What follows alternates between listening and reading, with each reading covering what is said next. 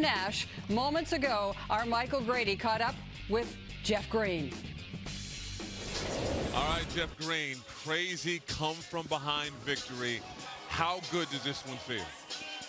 Uh, it feels great. Uh, the way we stuck in it, the way we uh, stayed together, where we just kept chipping it the way, and uh, we got it done on the defensive side. And we got out in transition. We played with pace, and uh, we, we shared the ball. That was most important. What was the spark that led to this comeback? You guys were down by as many as 24 points. What was the catalyst to turn things around?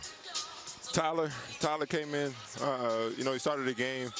Uh, he played great. Uh, that third quarter, uh, beginning of the fourth, uh, he made made some key shots uh, that kept us in it.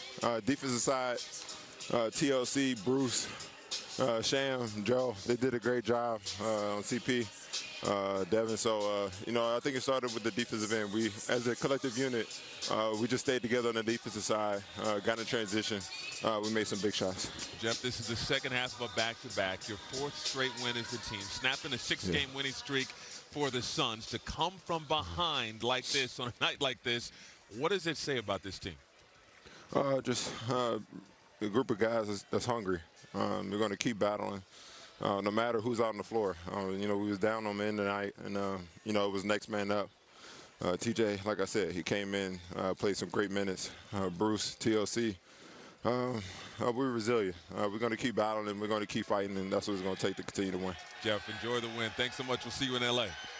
Thank you. I appreciate it.